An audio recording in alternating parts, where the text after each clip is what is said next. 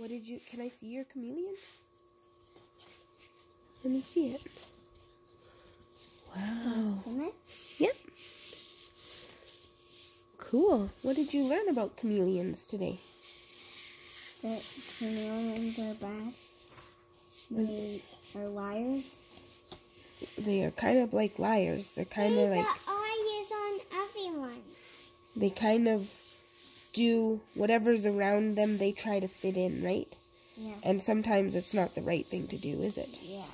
Well, what what is it? What did you learn today? About to chameleon. Um, chameleons. What did you learn about them?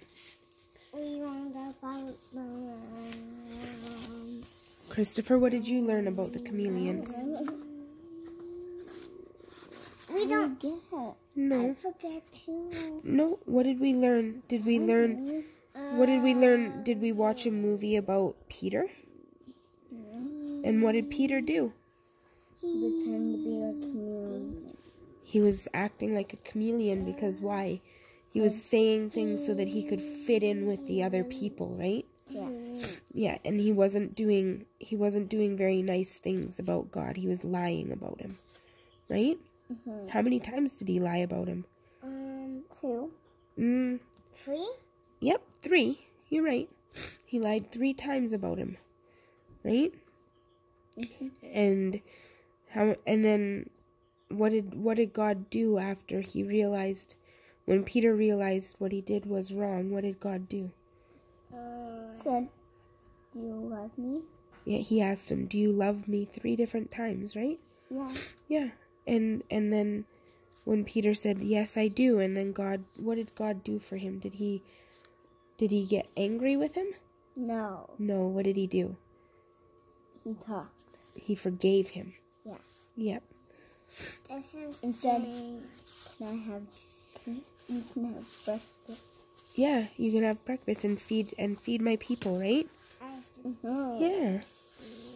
So is it nice to be a chameleon? No. No. Cuz what is like if you're trying to be a chameleon, what what do you do? Be Well, sometimes you would be mean.